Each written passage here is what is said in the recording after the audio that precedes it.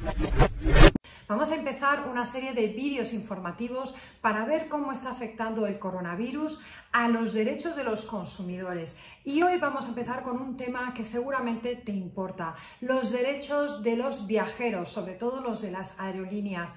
Ha habido mucha confusión con este tema. Durante unas semanas no hemos sabido si vamos a recuperar nuestro dinero, si vamos a recuperar un bono o un voucher o qué iba a pasar con ese vuelo que nos habían cancelado. Pues bien, después de muchísimas presiones, las aerolíneas querían una especie de rescate gracias a los consumidores y querían dar bonos, bonos durante un año para que el consumidor los utilizara después, viajara después, pero nada de devolver el dinero. La presión ha sido muy fuerte, la presión sobre todo por asociaciones europeas como el BEUC, que es la voz de los consumidores en Europa y a la que a su fin pertenece, ha hecho su presión y ha hecho valer los derechos de los consumidores de manera que nos tengan que devolver el dinero.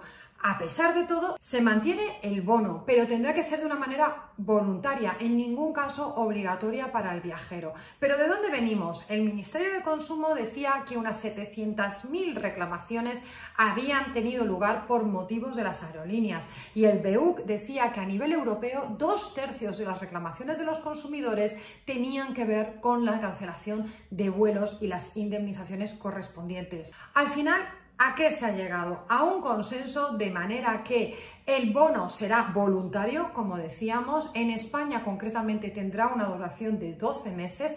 Como consumidores tendremos que vigilar que tenga un aval para que si la agencia de viajes, imaginaos, quebrase, tuviésemos posibilidad de rescatar ese dinero y también que sea transferible para que pueda viajar otra persona en caso de que nosotros no lo consigamos hacer.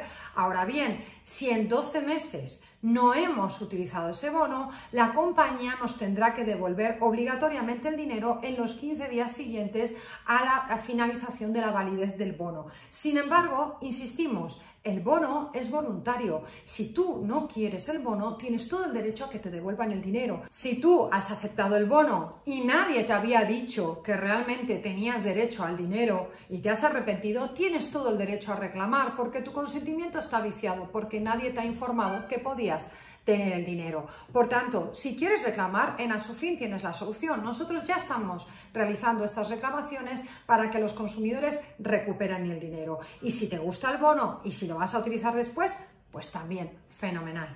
Bueno, amigos, pues espero que esta primera cápsula os sea de ayuda y sobre todo que estéis vigilantes a vuestros derechos como consumidores, porque un derecho que no se ejerce no es derecho. Hasta otra.